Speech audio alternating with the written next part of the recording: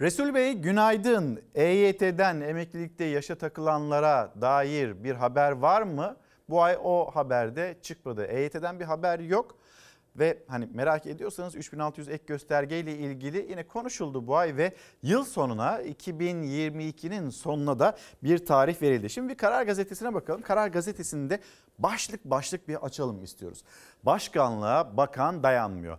Yönetimde istikrar vaadiyle geçilen Türk tipi başkanlık sisteminde beklentinin tam aksine hep değişim rüzgarı esti. Adalet Bakanı Gül'ün istifası ile birlikte 3,5 yıl önce kurulan Cumhurbaşkanlığı kabinesindeki 16 bakandan 7'si görevlerinden ayrılmış oldu. Aynı süreçte ekonomi yönetimi 3 Maliye Bakanı, 4 Merkez Bankası ve 5 TÜİK Başkanı gördü. Başkanlığa bakan dayanmıyor. Şimdi hemen bu başlığı okumuşken bir açalım. Tabii buradaki değişim Adalet Bakanı Abdülhamit Gül gitti. Yerine Bekir Bozdağ geldi. Hatta Bekir Bozdağ'ın gelişiyle ilgili Yeni Çağ Gazetesi'ne bir geri dönecek olursak Yeni Çağ Gazetesi'nin attığı başlık manşet efsane geri döndü.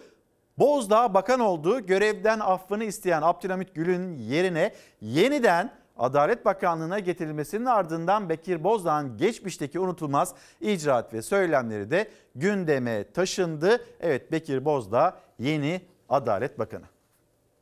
Tam bir çürümeyle, yozlaşmayla karşı karşıyayız. Asıl değişmesi gereken Erdoğan, bu ucube sistem. Resmi gazete hayat dersi veriyor herkese. Vicdandan ve gerçeklikten kopanları robotlaşan bakanlar ve bürokratlar kurtaramaz. Suçu ortak olmayın. Hükümetin bir politikası olur.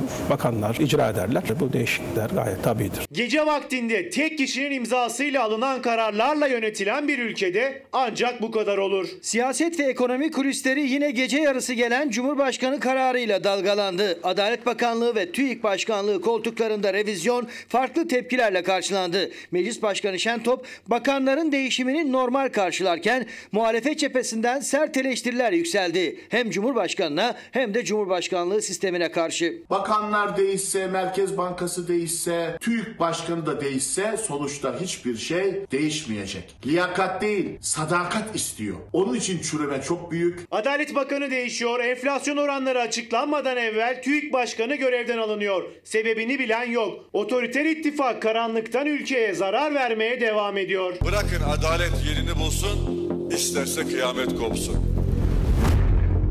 Efendim mahkeme kararı var yıkamıyoruz. Ya arkadaş sen gece yık mahkeme kararı bizim arkamızdan gelsin ya.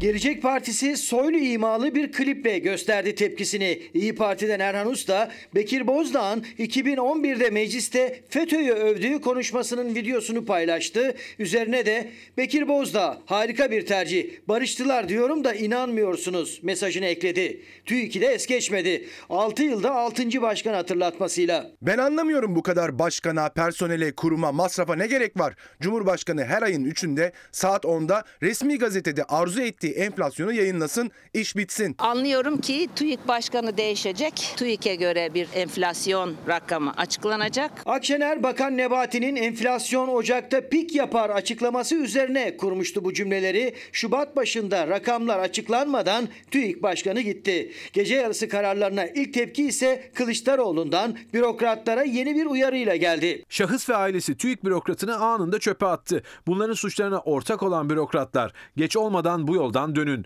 Başınıza aynısı gelecek. Suçlar sırtınızda yeni iktidara merhaba diyeceksiniz. Artık TÜİK'e rakamları ayarlama enstitüsü diyoruz. Kabinede Adalet Bakanlığı, ekonomi bürokrasisinde TÜİK Başkanlığı, revizyonun devamı gelir mi sorular arasında gözler imzada tek yetkili Cumhurbaşkanı'na çevrildi.